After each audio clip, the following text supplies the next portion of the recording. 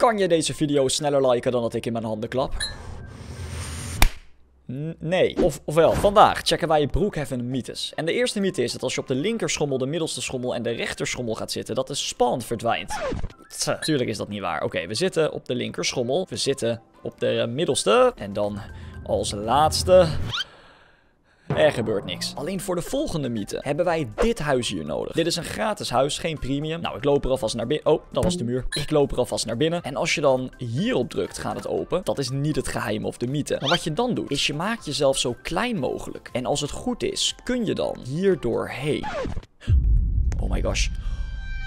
Het is gelukt. En dan ligt hier een geheime boodschap. De power van de agency wordt groter. Ze willen Brookhaven overnemen en vernietigen. Nee, zijn de taco's op? Nee Bob, ze willen Brookhaven verwoesten. Maar dit is dus een perfecte manier om een soort van geheime bunker in een geheime bunker te hebben. Het volgende geheim heeft alles te maken met de billboards die je in Brookhaven hebt staan. Het zijn borden waarvan je de tekst kunt veranderen. En blijkbaar als je daarop schrijft slash vliegen, kijk, dan heb je een commando aangezet in de server waarmee je kan vliegen.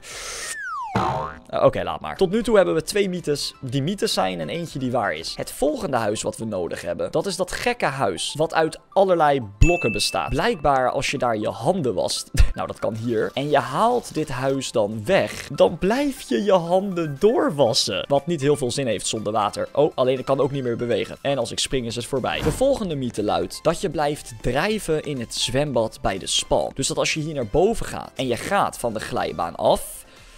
Ja, ik drijf niet. Ik, ik zink tot de bodem. Maar wacht, er is nog een manier om dat te doen. Daarvoor pak je er een ladder bij en dan moet je je karakter resetten. Oh, oké. Ja, dan blijf je wel drijven. Wat heb je eraan? Geen idee. Maar, maar het werkt. Aangekomen bij Lake Madison. Er wordt gezegd dat als je langer dan 5 minuten onder water blijft, dat je afgaat. 1, 2, 3, 4, 5. 6, 7, 8, 9. Nee, dit werkt niet. Ook wordt er gezegd dat als je deze kano kiest, en veel mensen weten niet eens dat dat kan, en je gaat er dan mee naar precies het midden van Lake Madison, dat is ongeveer hier, en je gaat dan vissen, hebben we eerst de vissenhengel nodig, dat je dan een zeemonster kunt vangen. Dus daar gaan we. Oké, ik ben aan het vissen. Ik zoek een zeemonster. Oh, ik heb beet. Ik heb een bos bloemen gevangen. Dat is geen zeemonster. Je kunt trouwens onder water fietsen. dat is ook een soort van mythe. De volgende mythe heeft alles te maken met dit huisje. Als je hier naar binnen gaat en je springt dan via de badkamer hier naartoe, dan heb je daar die enge pop. En er wordt gezegd dat als je op elk blok klikt wat ernaast ligt, dat je geband wordt uit Brookhaven. Oké, daar gaan we. Ik druk op de rode. Ik druk op de groene. Ik druk op de blauwe. Wat? Dat is niet echt. Nee, dat, is, dat heb ik er zelf in geplaatst. Dat is, niet, dat is niet echt, gelukkig maar. Dat is ook beter, toch? Voor de volgende mythe zijn we hier bij de boerderij. En als we ons dan omdraaien... Wacht, waar is het ook alweer? Oh nee, volgens mij is het juist daarachter, of niet? Ja, als we dan deze kant op gaan, achter de schuur... dan hebben wij daar een vogelverschrikker. Nu ben ik zelf geen vogel, dus ik schrik niet. Maar er wordt gezegd dat als je op deze vogelverschrikker klikt... dat het tot leven komt. Oké, we gaan het proberen.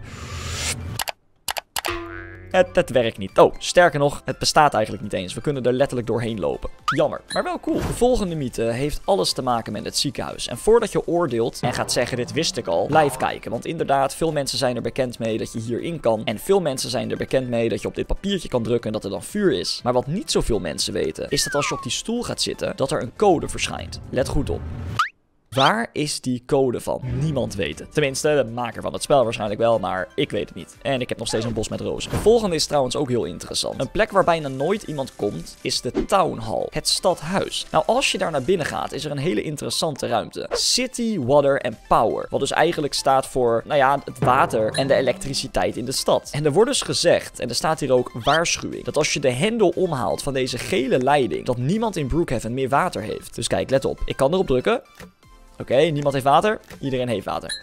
Niemand heeft water. Niemand heeft water, wordt er dus gezegd. Dus nu wil ik kijken of dat waar is. Ik kies gewoon het eerste beste huis wat ik zie. We hebben de waterleiding dus afgesloten. We gaan naar binnen. We staan bij de kraan. Er is water. Er is gewoon water. Wat op zich ook wel logisch is, want anders zou elke speler heel Brookhaven kunnen saboteren. De volgende is niet echt een mythe, maar als je dit gele huis kiest. Dit is volgens mij een van de eerste huizen waar ik de meeste geheimen over leerde kennen. Dus ik heb er wel een soort van band mee. Maar er wordt gezegd dat als je in dit huis, in de jacuzzi gaat zitten, en je drukt dan op de rode knop, dan kan je de kleur van de jacuzzi aanpassen. Het is een klein dingetje, maar veel mensen weten het niet. Zoals jullie misschien weten, zijn de huizen met een blauwe ster erbij premium. Maar er is een manier om een gratis premium huis te krijgen. Alleen kost het iets meer moeite. Je moet namelijk het concept constructiehuis kiezen. Wat dus een huis is dat wordt opgebouwd. Het is nog niet af. Maar als je het dan afmaakt, wat eigenlijk ook maar één druk op de knop is, dan zou het een premium huis zijn. Ik heb een onzichtbare muur gevonden. In ieder geval, om het huis af te maken ga je hier naartoe. En dan druk je op de laatste. Kijk eens aan. Er staat ook open huis. Want het is een huis en het is open. Nou, je snapt wat ik bedoel. Dit is normaal gesproken een premium huis. Maar op deze manier kun je het dus gratis krijgen. En kijk, als je dan naar buiten gaat, dan zie je dat ook. Want er is gewoon een zwembad. Veel mensen weten dit niet. Denken dat het alleen maar een onafgemaakt huis is. Maar dat valt dus best wel mee. Voor de volgende moeten wij de stad weer in. En deze is heel interessant. Dit test eigenlijk hoe realistisch Brookhaven is. We gaan eerst even langs het politiebureau. En inderdaad, ik zit in een privé server, daarom is het zo rustig. Dan gaan we het ziekenhuis in. En in het bijzonder naar de X-ray. Maar niet zomaar. Eerst kiezen wij namelijk een baby. Want wat een X-ray namelijk doet, is die kijkt door je lichaam heen. Dus als je er in je eentje ingaat, dan zie je hier ook één skelet. Maar we hebben nu iemand vast, dus nu zouden we er twee moeten zien. We gaan kijken of dat werkt. Nou, hier moeten we dus even inwachten. Oké, de deur gaat weer open. Maar wat gaan we nu op het scherm zien? Het, het werkt niet. Dus of je nou een ladder vast hebt, een bos rozen of een baby, dat maakt helemaal geen verschil. De volgende mythe is eerder gevaarlijk dan handig. Elke speler kan dit namelijk doen. Je kunt namelijk zomaar naar Brooks Dinner. Terwijl je er niet werkt, kan je dan het fornuis aanzetten. Of hoe noem je dat? De kookplaat. Alleen als je de temperatuur dan te hoog zet. Wacht, wat? Oh, ja, inderdaad. Dan gebeurt... Ik zat al te denken, hebben ze het eruit gehaald of zo. Deze mythe is ook best wel grappig. Als je namelijk hier kijkt naar de drankjes, heb je cola, Diet Coke, Sprite en Dr. Pepper. Dat zijn vier verschillende drankjes. En als je er dan op klikt, dan zie je dus ook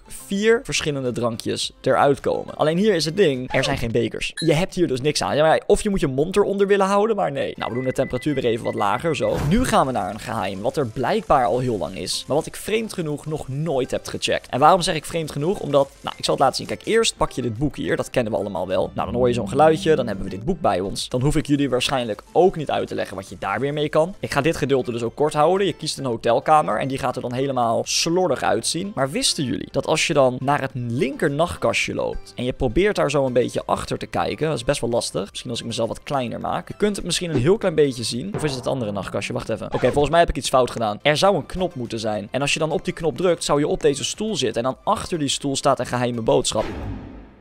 Oké, de knop was niet nodig. Er staat hier weer iets over de agency en hoe gevaarlijk ze zijn. Wauw. Oké, dat is best wel cool. En waarschijnlijk is iedereen er al bekend mee wat je nog meer met het rode boek kan. Je gaat er hiermee naartoe naar het museum. Het rode boek plaats je hierop. En dan in 3, 2, 1 rook met natuurlijk Mr. Brookhaven. Maar terwijl Mr. Brookhaven daar spant, heb je hier een soort van rode rook. Best wel interessant. Best wel eng. Ook interessant trouwens. Als je naar de huizen gaat en je kiest dat enge spookhuis, dan kan je daar naar een van de slaapkamers toe. Volgens mij is het deze. Ja, nee. Nee, het is niet deze. Volgens mij is het deze. Dan maak je jezelf kleiner. Oh, hier zit een kluis trouwens. Maar als je jezelf kleiner hebt gemaakt, kan je dus hier door de grond heen vallen. En het interessante is, je hebt dan hier een agency poster met een zwart boek. En als je dat boek pakt, is die ineens groen. Dus dat slaat dan ergens op. Dat is ook de mythe niet. Maar de mythe is dat als je dit boek leest en je gaat dan op die stoel zitten, dat je bij de agency hoort. Oké, dat slaat nergens op. Abonneer voor meer en adios.